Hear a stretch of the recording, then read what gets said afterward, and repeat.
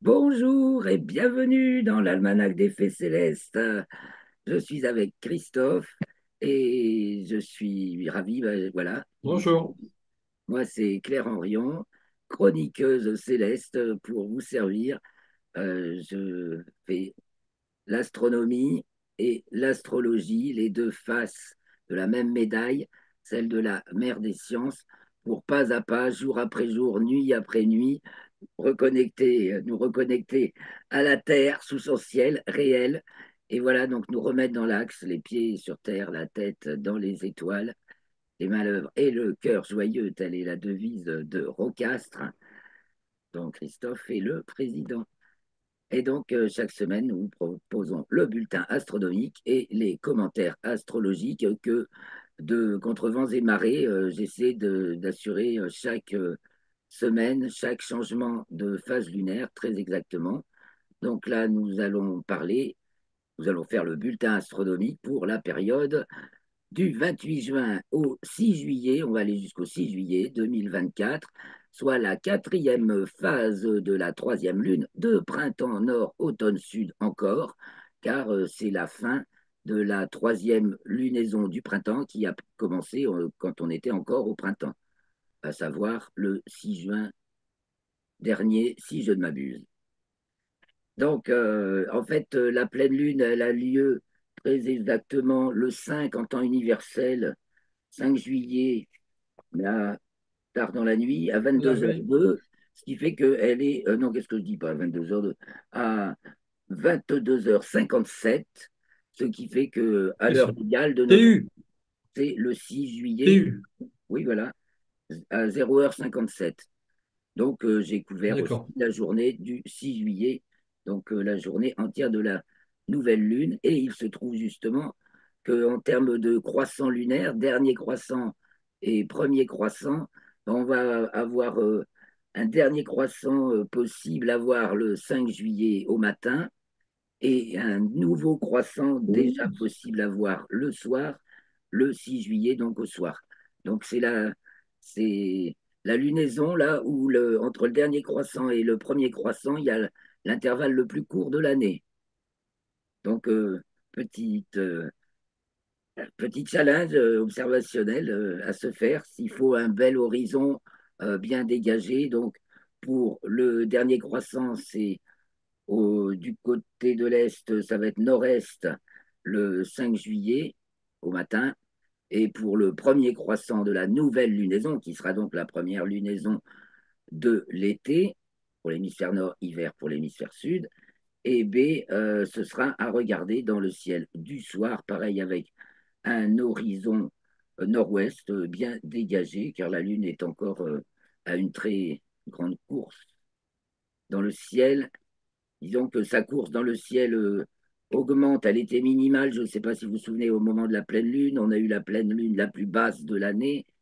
Et depuis, elle remonte en latitude et aussi en déclinaison, les deux quasiment conjointement, ce qui, fait qu'elle grimpe, elle grimpe. Et elle, cette semaine, elle va sortir des limites zodiacales nord et puis atteindre sa latitude, de sa déclinaison, enfin les deux, sa déclinaison maximale, elle l'atteint le 5 juillet à 0h02 et elle atteint sa latitude maximale le 5 juillet à 18h27, qui fait qu'elle va être très très haute à la fin de la période dans le ciel, mais elle sera de plus en, moins en moins visible néanmoins. Alors on la verra culminer cette semaine dans le ciel du matin. Elle s'y couche de plus en plus tard dans le ciel de la matinée, hein, une fois qu'il fait jour, parce qu'elle se lève en deuxième moitié de nuit donc on peut assister au lever du croissant de plus en plus fin en fin de nuit, de plus en plus près du, lever du soleil. Donc le dernier euh, sera un petit challenge quand même, le 5 au matin. Et donc elle culmine en- dans la matinée, mais vous pouvez la remarquer dans le ciel encore, mais le croissant diminue. Et on pourra même remarquer aussi sa conjonction à Jupiter dans le jour aussi, c'est le 3 juillet, n'est-ce pas? Euh, Le 3 juillet. le jour où la Lune est conjointe à Jupiter, car cette semaine, la Lune euh, fait euh, en- enfile les perles planétaires, n'est-ce pas?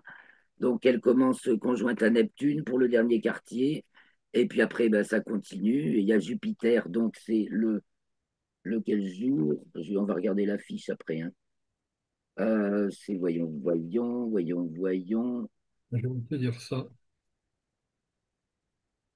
Le, Euh, euh, Juju, ben non, voilà, c'est le 1er juillet.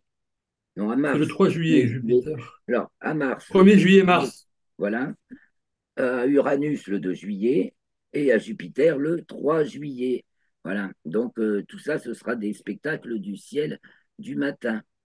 Donc, déjà, Il euh, fait beau. eh ben, évidemment, un ciel. Déjà, il faut qu'il fasse beau et il faut que votre horizon soit dégagé. Oh, ben, il y a quelques belles journées. On peut avoir de la chance. Le ciel peut être avec nous. Bon, alors, on va partager un petit peu la fiche. Ce sera plus concret. On aura un support sous les yeux. Partager l'écran. Bon, Alors, j'espère qu'on m'entend bien. Euh, euh, faut- Oui, ça va. N'hésite pas, Christophe, à me dire Ouais, euh, ta voix par. euh, Alors, partager, voilà. Donc, euh, Stellarium, je vais partager d'abord l'affiche pour qu'on retire un petit peu les événements de la semaine. C'est bon, tu vois, Oui, je vois. Je lis pas, mais je vois. je grossis. Donc, euh, la quatrième phase de la troisième lune de printemps nord, automne sud, du dernier quartier le 28 juin à 23h53, ou à 21h53 temps universel, à la nouvelle lune le 6 juillet 0h, 0h57, soit le 5 à 22h57 en temps universel. Donc, comme je vous le disais, la lune le jour du dernier quartier, elle est conjointe à Neptune à 10h44, qui se trouve dans le dernier degré du signe des poissons, et qui va, dont le mouvement va devenir rétrograde le 2 juillet, et celui de Saturne le 29 juin. Donc c'est aussi l'événement, le, les événements de cette semaine. Donc notre lune est conjointe à Neptune le vendredi 28, dernier degré du signe des poissons, puis elle entre, voyez, cinq minutes plus tard, dans le signe du bélier. Elle passe en déclinaison nord à 14h09 le vendredi 28 et elle est à son dernier quartier le vendredi 28 juin à 23h53. Elle passe ensuite à son nœud ascendant puisqu'elle monte en latitude. Elle passe en latitude écliptique nord vendredi 29 à 6h24. Actuellement, la ligne des nœuds, l'axe des nœuds est 12e bélier, le nœud ascendant, donc 12e balance, le nœud descendant. Et ce, cet axe est rétrograde, n'est-ce pas? Donc, euh, la- il sera à 11 bélier, etc. Euh, il passera en poisson, euh, oui, c'est ça, en poisson vierge en 2025, en janvier, je crois. Bon, je reviens sur l'axe des nœuds. Donc, la Lune, nœud ascendant, passant latitude écliptique nord le samedi 29 à 6h24. Elle entre dans le signe du taureau dimanche 30 juin à 14h. Elle est conjointe à Mars lundi 1er juillet à 18h19. Et mardi 2 à 10h29, elle est conjointe à Uranus. Alors en fait, mardi 2 au petit matin, on, vous pourrez admirer la Lune, le, vieux croissant de Lune, et Mars, la planète Mars, qui est maintenant bien visible. Et euh, évidemment, vous pourrez regarder aussi le 1 au matin. Alors le premier au matin, la Lune sera à droite de Mars, et le 2 au matin, la Lune sera à gauche de Mars. Quant à Uranus, peut-être qu'avec une paire de jumelles, vous arriverez euh, à la distinguer en repérant bien où c'est qu'elle se trouve avec Stellarium. Alors, la Lune sort des limites zodiacales nord, euh, donc en déclinaison, elle monte et elle passe à 23 degrés 26 minutes de déclinaison nord en continuant à monter, et la limite atteint, qu'atteint le Soleil au solstice de juin. Donc, c'est pour ça qu'on va la voir culminer de plus en plus haut dans notre ciel, et même euh, en ces temps-ci particulièrement haut, puisqu'on peut y ajouter sa latitude qui correspond les deux cycles sont en train de converger au niveau de leur maximum et de leur minimum. Donc, ça fait des plus 5 aux 23 degrés de déclinaison, donc des 28 degrés de déclinaison maximale, qui dans notre ciel euh, la met euh, particulièrement haut, ou quand c'est en sud, particulièrement bas. Je continue. Mardi 2 juillet à 17h50, la Lune entre dans le signe des Gémeaux. Et donc, à notre époque, ça veut dire qu'elle est conjointe aux Pléiades, puisque, en raison de la précession des équinoxes, les Pléiades marquent de nos jours le premier degré du signe des Gémeaux. Mercredi 3, elle est conjointe à Jupiter, alors c'est remarquable dans le ciel de fin de nuit, le mercredi 3 au petit matin la planète Jupiter se trouvant au sud de la Lune. Ça y est, on commence à voir Jupiter un petit peu avant qu'il fasse jour. Alors la Lune est aussi conjointe à Aldébaran, c'est dans la même, il y a un alignement Jupiter-Lune Aldébaran, mais Aldébaran par contre est très au sud de la Lune, pas facile à voir dans, dans cet alignement quasi vertical. Vous allez voir Jupiter, Lune, Aldébaran, donc l'étoile alpha du Taureau. Et donc le jeudi 4, on peut, voir pour sûr un avant-dernier croissant de lune de 4% vers euh, une petite heure avant le, le lever du soleil, donc jusqu'à 5h, 5h15 pour chez moi à peu près. La lune conjointe à l'étoile Elnat, euh, soit le bêta taureau, la bout de la corne sud du taureau. Euh, là, ça fait une occultation d'ailleurs pour une occultation, je pas marqué là.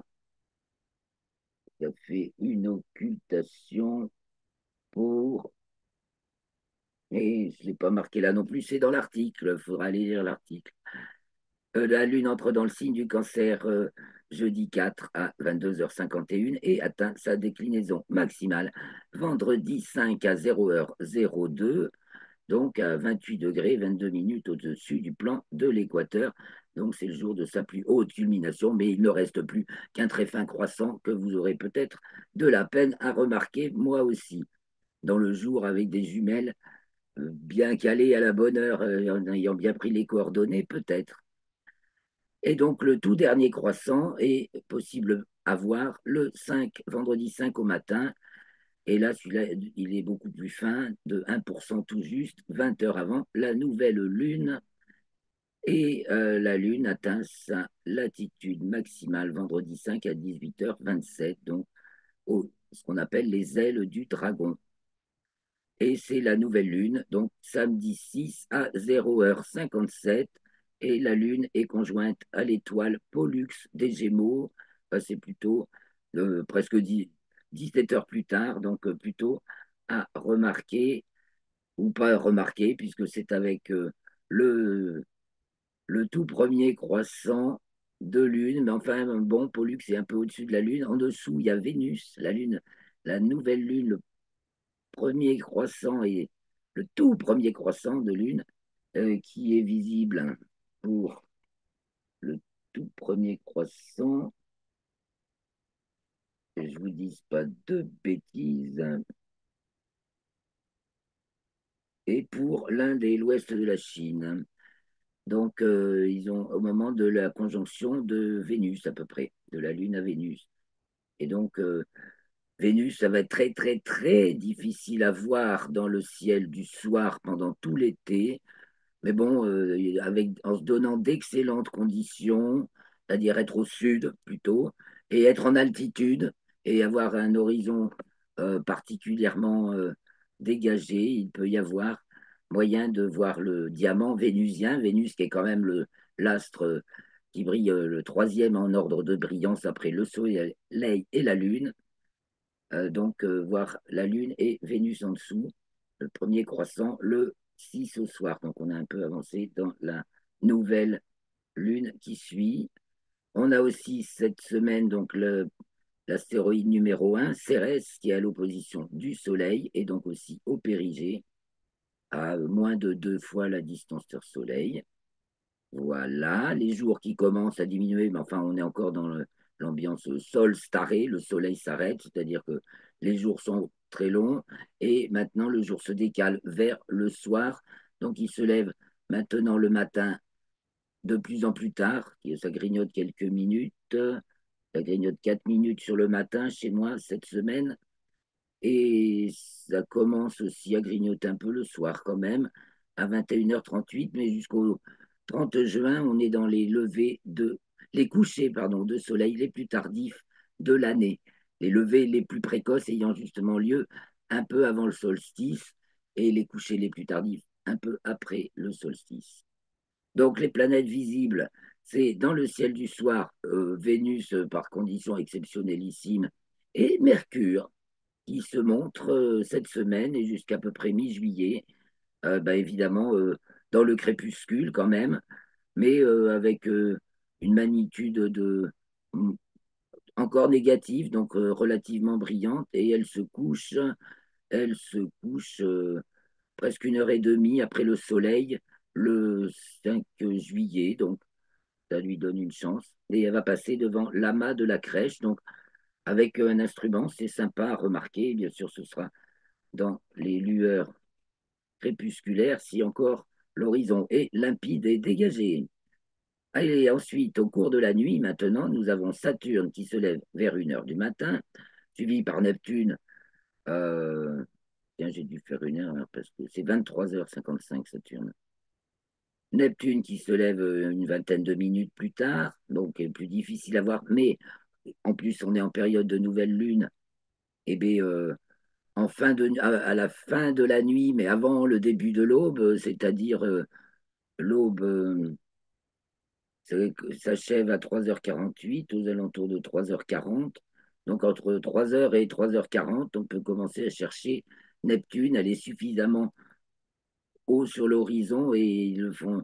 Et c'est encore la nuit noire, du moins dans le sud de la France. Mais ça y est, je pense que la période où les crépuscules, euh, les, enfin les nuits euh, sans, sans, nuit noire, justement, qui adviennent au-delà de 48e parallèle, euh, c'est fini. même, à, Paris, il recommence à y avoir un peu de nuit noire, si tant est qu'il y a, enfin, à la latitude de Paris, parce que faut éviter les villes. Alors ensuite, dans la nuit, à 3 heures, vers 3 heures du matin, se lève Mars, qui est devant la constellation du Bélier, suivi par Uranus une vingtaine de minutes plus tard. Pareil, euh, on attendra le mois prochain pour euh, repérer Uranus. Enfin, on peut la repérer peut-être ensuite, d'ici quelques temps. Et donc Jupiter qui commence à être visible et qui se lève vers 4 heures. Et donc Jupiter est bien brillante aussi. Donc une fois qu'elle est là, on la voit bien. Alors, quelques étoiles filantes, les boutilles de 2 juin, dont le maximum euh, advient la nuit du 26 au 27 juin. Donc, euh, c'est déjà passé. les Pégasies de 2 juillet et les Alpha Capricornides, dont les maximums sont à venir. Et donc, euh, le ciel se repeuple. Vous savez que le ciel de l'été est bien rempli d'étoiles filantes. Et là, voilà, ça commence. Et les fameuses. ensuite, il y a les fameuses Perséides qui commencent, je crois, des dès la mi-juillet, si mes souvenirs sont bons, et dont le maximum a lieu vers le 11 août. Bon, ben voilà. Ah, nous avons ben justement Vénus, Vénus qui était euh, tellement près du Soleil qu'elle était dans le champ du, enfin visuellement, hein, euh, dans le champ du coronographe Lascaux C3 depuis le 5 mai. Et donc, enfin, deux mois plus tard, elle en sort le 5 juillet. Et bon, ben, devenir repérable. Je, vous dis, si on est euh, plutôt euh, vers le sud, hein, plus on est en latitude sud, plus c'est facile en fait, et euh, avec un horizon très dégagé, et plutôt en altitude si vous restez en France métropolitaine et encore dans le sud. Coucher de soleil les plus tardifs, début de la 2286e rotation cinétique du soleil, et le 30 juin, comme tous les ans, avec un petit décalage du de 1 degré, enfin d'un jour tous les 72 ans en raison de la précession des équinoxes, eh bien nous avons l'étoile Vega qui passe au méridien à la minuit. À ma latitude, c'est à 84 degrés, donc pratiquement au zénith, tout là-haut, là-haut. Et ben, je crois qu'à Paris, vous l'avez carrément au zénith. Vega à la minuit, soit minuit en ce moment, sur le, euh, sur notre méridien de Paris, c'est 1h55, 1h56. Et nous sommes au milieu de l'année, le 2 juillet, à 0h. Les années qui ne sont pas bissextiles, c'est le 2 juillet à 12h. Et comme nous sommes dans une année bissextile 2024, n'est-ce pas? Eh bien, le 2 juillet à 0h, ça y est, on a fait déjà la moitié du parcours annuel de la Terre autour du Soleil, on peut le dire comme ça. Et euh, ben, ça passe vite. Alors, un petit tour sur Stellarium. Que nous reste-t-il comme temps pour voir un petit peu bah, le ciel de ce moment dont on a parlé? Donc, là, j'arrête le temps et nous allons aller déjà le lendemain. Voilà, le 28. Le 28 juin, 22h44, le soleil est couché depuis un peu plus d'une heure. Alors, je reviens un peu avant pour le coucher du soleil. Vous voyez, donc, soleil caché. Je vais, attendez, je vais changer surtout l'horizon parce que on va se mettre un paysage océan comme ça. On voit tout. Il y a plein de choses à voir au ras de l'horizon. Donc, océan. Voilà. Donc, euh, le soleil n'est pas encore couché à 20h44. Il faut que le temps là. Soleil. Il va se coucher maintenant. Bon, le jour du solstice, il s'est couché au nord-ouest. Et là, maintenant, il se couche de jour en jour. Vous voyez, le lendemain, on voit peut-être pas très bien. De jour en jour, il se couche de plus en plus vers l'ouest. C'est léger. Et le jour de l'équinoxe de septembre, il se couchera pile à l'ouest, que c'est le jour de l'équinoxe que le soleil se lève pile à l'est et se couche pile à l'ouest. Alors nous sommes déjà rendus le 10 juillet, on va pas laisser loin. Revenons à notre 28 juin, d'où nous partons. 28 juin en début de nuit, donc c'est la lune va se lever euh, tard dans la nuit, après la minuit, donc, en début de nuit, si on se tourne vers l'ouest, qu'est-ce qu'on voit qui disparaît? Eh bien, on va voir Mercure. D'abord, on peut se donner une chance d'observer Mercure. Donc, vous voyez, au nord-ouest, Mercure qui se couche à... Ah non, ça c'est Pollux que je suis. Mercure est là, justement, voilà Pollux ici. Et donc, Mercure qui se couche à 22h48, soit euh, une heure dix minutes après une heure un peu plus d'une heure après le soleil.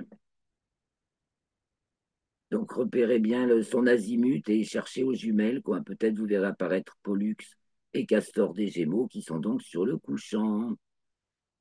Donc voilà pour l'attraction du début de nuit, l'attraction planétaire du début de nuit. Après, ben, on va voir les astres qui se couchent une heure plus tard. Donc on voit le lion ici, il va se coucher, et la grande ours au côté du, côté du nord-ouest qui descend aussi. Donc ben, tournons-nous pour commencer vers le nord. Donc il est 23h35 et on est presque déjà au milieu de la nuit. Hein. Et donc on va aller, euh, on va regarder quand même le des ciels de début de nuit, euh, ce qui culmine. Donc euh, début de nuit, eh bien 23h35 donc la petite ours est de droit debout, le dragon la coiffe. Je marque le zénith, c'est ici, vous voyez. Le Hercule, le genou d'Hercule passe au, zénith, ici. Donc nous voyons descendre, nous sommes tournés vers le nord, nous voyons descendre la grande ours, donc cette étoile du chariot. Et si on se tourne vers l'ouest, on, on voit l'étoile Arcturus au sud-ouest, qui se trouve dans le prolongement de l'arc formé par la queue de l'ours. Et ensuite, dans ce prolongement, nous avons Spica de la Vierge, qui est donc sur le couchant au sud-ouest en début de nuit. On se tourne vers le sud en début de nuit, on voit passer le scorpion avec son étoile Antares du scorpion, qui avec Arcturus et les trois étoiles Vega Deneb et Altaïr qui forment le grand triangle de l'été sont les cinq premières à s'allumer dans notre ciel de début de nuit d'été dans l'hémisphère nord. Donc euh, le scorpion qui passe au méridien, donc qui culmine. Au-dessus, il y a Ophucus, le serpentaire, et tout en haut, il y a Hercule, pratiquement au zénith, et la couronne boréale. Et puis, il y a à gauche du scorpion, donc c'est bas sur l'horizon hein, chez nous. Euh, il y a le Sagittaire, voilà, et la Voie lactée. Et donc, euh, dès qu'il fait nuit, euh, bien nuit, ben, comme il n'y a pas la Lune, on voit bien la Voie lactée. Donc, profitez bien de la Voie lactée cette semaine. si tant est que le ciel est dégagé. Et ensuite, en se tournant vers l'est, eh ben, on voit s'élever le grand triangle de l'été, donc Vega de la lyre, Deneb du cygne et Altaïr de l'aigle, avec toute la riche population, puisque nous sommes là dans le plan galactique, c'est la Voie lactée, donc qui s'étend du Sagittaire, passe par l'écu, l'aigle, le cygne, tout le dos de la tête, en fait, à la queue du cygne, Deneb, c'est la queue du cygne, ici, Albireo, sa tête, une étoile double que l'on observe très facilement au télescope avec un très joli contraste de couleurs. Et la Voie lactée continue, elle passe par Céphée, voilà le petit triangle. Il y a un petit triangle caractéristique de Céphée qui ancre la constellation dans la Voie lactée. Et Cassiopée, voilà le magnifique ciel de début de nuit. Donc on se retourne vers le nord, on va regarder passer la nuit. Donc en milieu de nuit, soit deux heures plus tard pratiquement. 2h30 plus, deux heures plus tard, et puis on va aller euh, en fin de 1h55, voilà. Eh bien, en milieu de nuit, nous avons la grande ours qui commence à, à piquer vers le bas vraiment, le dragon et la petite ours en se tournant vers le nord, qui sont maintenant à gauche et donc qui descendent, côté du couchant, côté de l'ouest. Donc justement, qu'est-ce qui disparaît en début de nuit, euh, en milieu de nuit Arcturus du Bouvier qui s'en va et la Vierge qui se couche carrément. Donc on a la couronne Hercule, la couronne boréale, le Bouvier et la Vierge qui, à l'ouest, tous sont en train de descendre, chacun suivant sa course, voyez. Euh, la Vierge, si je trace l'écliptique, ça vous permet de visionner les constellations de l'écliptique d'ailleurs. Vierge, Balance, euh, Scorpion, donc l'écliptique traverse la constellation, les traits rouges délimitent la constellation d'Ophucus, donc c'est pour ça que ça c'était une espèce de peau de banane pour euh, rajouter de la confusion à la confusion entre signes et constellations du zodiaque pour mieux discréditer l'astrologie quelque part dans un état d'esprit euh, assez pervers que je m'emploie à des sur lequel je me suis employé depuis des décennies à enquêter. Et voilà. Donc Ensuite, nous avons le Sagittaire. Voilà, donc on voit les, les as qui vont se coucher et on comprend aussi que chacun a sa hauteur. Chacun a sa hauteur, va se coucher. Donc Arcturus, il va, partir comme ça. Hercule va partir comme ça. Euh, plus elles sont hautes du côté de l'ouest, plus elles vont se coucher vers le nord-ouest. Donc nous voici, euh, voilà ce qu'on voit disparaître à l'ouest en milieu de nuit, tandis qu'au sud, ben, c'est le Sagittaire qui culmine en milieu de nuit, avec donc cette magnifique voie lactée qui, euh, a sa prise au sud, prise. D'ailleurs, on a l'impression que le Sagittaire est comme une théière en train de verser, euh, un récipient en train de verser le lait de la voie lactée. Et du côté de l'Est, ben, en milieu de nuit, est déjà levé Saturne, donc, euh, le 29, la Lune est passée en conjonction à Saturne, hein, c'était la veille. Donc, on va se mettre un peu la veille. Et on va suivre les levées de la Lune au cours de la période. Donc, le 28, en milieu de nuit, euh, la nuit du 27 au 28, la Lune a déjà passé Saturne. La nuit suivante, donc Saturne qui se lève, vous voyez maintenant, ouais, vers 1h euh, du matin, de plus en plus tôt, donc chaque jour. Donc la Lune se lève à 1h42 le, la nuit du 28 au 29. Et donc on va prendre dans quelques heures dans la nuit. Donc au milieu de la nuit, à l'est, s'élève Pégase. Il y a le cygne qui est très haut, avec donc Deneb, Pégase et Andromède. Donc euh, on peut commencer à se rincer l'œil, euh, chercher la galaxie d'Andromède et plein d'autres. Il y a Persée qui s'élève au nord-est et donc, euh, sous Pégase, il y a les poissons, mais on ne les voit pas parce qu'ils sont très discrets. C'est normal, ils sont sous l'eau.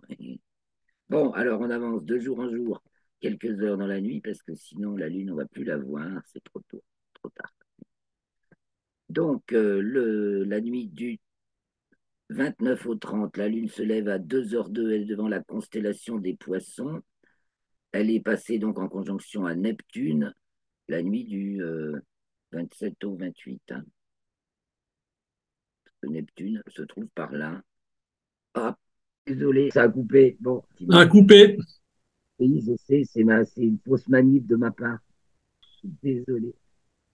Euh, donc, on était là à voir la lune qui se levait la nuit du 28 au 29, c'était donc le 29 au petit matin. Donc, je reviens sur la lune, qui est donc en croissant de plus en plus fin. Alors, la lune, la nuit du 29 au 30 juin, elle est donc devant les poissons. Elle se lève aux 2 heures du matin, 2h02. La nuit du 30 juin au 1er juillet, elle s'approche de Mars, donc à voir euh, en fin de nuit. Mars qui se lève maintenant à 3 heures du matin, ce jour-là. Donc le 1er juillet, Mars se lève à 3 heures du matin. Le 2 juillet, la Lune est passée à gauche de Mars. Elle se lève à 2h52. Les deux se lèvent pratiquement en même temps. Vous voyez, à l'est-nord-est. Et on peut voir euh, il y a même Uranus qui est pile en dessous de la Lune. Et c'est ici les Pléiades, donc euh, éventuellement à remarquer aux jumelles vers 4 heures du matin, le 2 juillet. Mars, Lune, Pléiades, très joli euh, spectacle. À gauche, vous avez l'étoile Capella, qui est très brillante, qui remonte au nord-est. Alors nous sommes toujours du côté de l'est. Le 3 juillet, la Lune se lève à 3h26. Elle est à côté de Jupiter. On va prendre quelques minutes. Elle est conjointe à Jupiter et ça, on, va, on peut aller jusqu'à 5 h du matin. C'est bien le crépuscule, mais ça se voit. Voilà. Donc, euh, vers 5 h du matin, le 3 juillet, on peut remarquer Jupiter sous la Lune, dont le croissant est de plus en plus fin et qui est maintenant passé à gauche des Pléiades. Et le 4, le 4, la Lune, voilà. Et déjà, c'est l'avant-dernier croissant, comme je vous l'avais dit, à côté de l'étoile Elnat. Elle va occulter pour une partie de la Terre, je ne sais plus. Voilà, la Lune va passer devant cette étoile. Donc, pour certains, ça fait une occultation. Et nous arrivons au 5 au matin. Le 5 au matin, dernier croissant de Lune. Non, on n'a pas dit le 6, on a dit le 5 dernier croissant de lune, voyez, qui se lève à 5h05, une bonne heure avant le lever du soleil. Donc il y a tout à fait une possibilité de le voir, un croissant de 1%. On aura Jupiter au-dessus à droite. voilà. Et là, donc en dessous de l'étoile Capella, le dernier croissant de lune dans le ciel du 5 juillet au matin. Donc si possible, la finesse du croissant, 1% seulement, c'est ce petit liseré là, sur le soleil fini de se coucher, sur la face visible. Et puis le 6 au soir, on va revoir apparaître un liseré de ce côté, dans le premier croissant de la nouvelle lunaison, donc qu'elle vous dit ce soir. Voilà, j'arrête le partage pour ça. Je vous fais un petit spot sur les news. Tu t'en vas? Christophe s'en va. Il y a le, il y a le temps de réunion. Donc, je repartage l'écran et je vais sur l'article.